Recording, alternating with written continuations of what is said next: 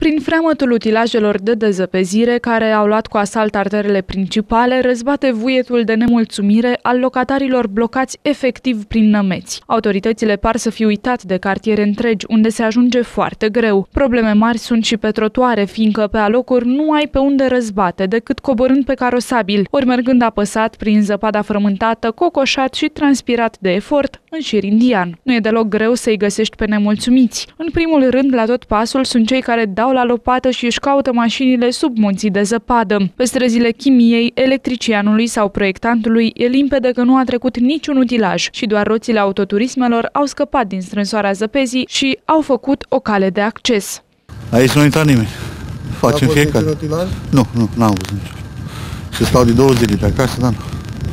N-am văzut niciun utilaj. Acum încercați să scoateți mașina. Acum încerc să fac pârtii, să pot să văd dacă reușesc să o scot de aici și nu, așa în general pe stradă am văzut în oraș. Se face treabă, dar aici mai puține. Printre blocuri mai Printre blocuri mai dă omul cu lopat. Mașinile au frământat zăpada și patinează a nevoie, aproape că merg pe burtă, turează în forță motoarele, botul le zboare imprevizibil și nervos când spre stânga, când spre dreapta, la un pas să se proptească în mașinile parcate pe margine. În general, lumea încearcă să își continue activitățile obișnuite, să-și cumpere pâinea, să meargă la serviciu, să ducă gunoiul la ghenă, dar se vede că zăpada îi ostenește și uneori le zadărnicește intențiile. În zona asta prost de tot. Deci a trecut când era drumul uscat, a trecut un utilaj de lor când era uscat. Și acum când nici nu mai vezi niciun tractor, nimic. Ai, să vede că abia în noapte, așa, de greu ies mașinile cel puțin când se întâlnesc două, e, o, e catastrofă. Să ia la ceartă, care să dea înapoi, care... N-ai ce să-i faci.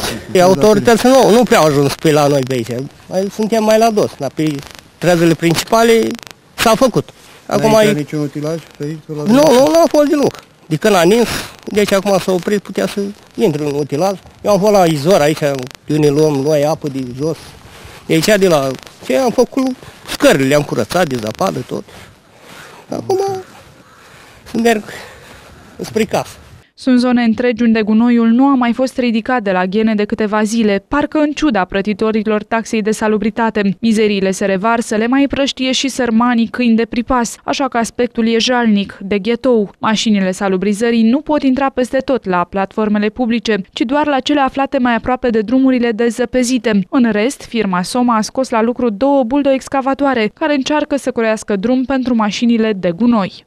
Este dezastru, sunt 150 de platforme publice, buldo-excavatoarele fac intrări, dar până ajunge mașina de gunoi, apar câteva mașini care parchează și blochează platforma. Avem probleme mari în cartierele Gherăiești, Șerbănești și Tache, unde gunoiul e scos la porți de fiecare locatar. Mașinile noastre n-au efectiv cum să oprească la fiecare, fiindcă de multe ori blochează singurul fir de drum accesibil. Se iscă și multe conflicte cu șoferii, a declarat directorul Soma Ciprian Narcis Doru. Prognoza meteo e la mare preț, poate e cel mai urmărit program. Se aude că vremea se mai potolește, iar asta dă speranțe tuturor că într-o zi, două, vor simți din nou că trăiesc la oraș.